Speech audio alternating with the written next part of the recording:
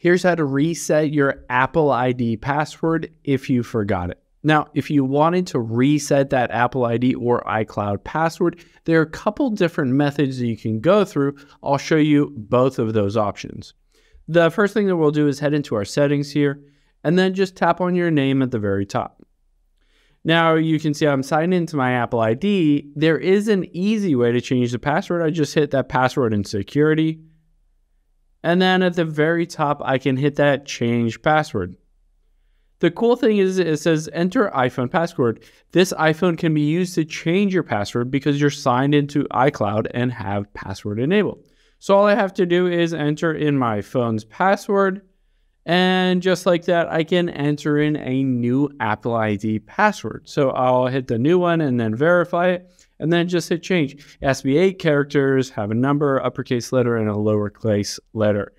So this is an easy way to do it, but of course this requires that you have an iPhone, you're logged into your Apple ID, you know your phone password, all that stuff. You can also just hop out of here and go on any device, a computer, this iPhone, another iPad, a Mac, whatever you want. And we're going to go to iforgot.apple.com and hit go. So on here, it says forgot your password, hit reset password. So I'm going to type in my Apple ID here. There we go. And then you can see I have to type in these characters. I'm going to hit new code. That's a hard one. So I will type in those characters. And hit continue. So going through this, it says confirm your phone number. So again, I'm going to enter my phone number and hit continue. And now it gives me the ability to reset my password. It says use this phone to reset your password.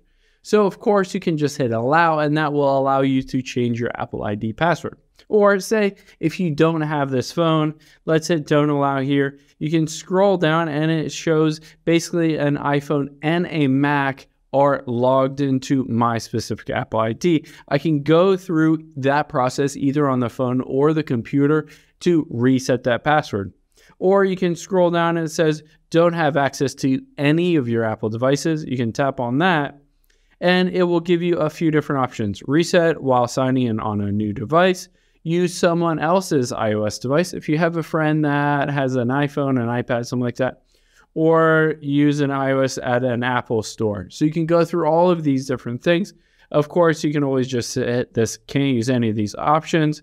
And then without an Apple device, you'll have to just wait and basically it'll walk you through your options at this point to be able to reset that password. So Apple gives you a ton of different options to reset and change that password, even if you forgot it and can't remember what that password is.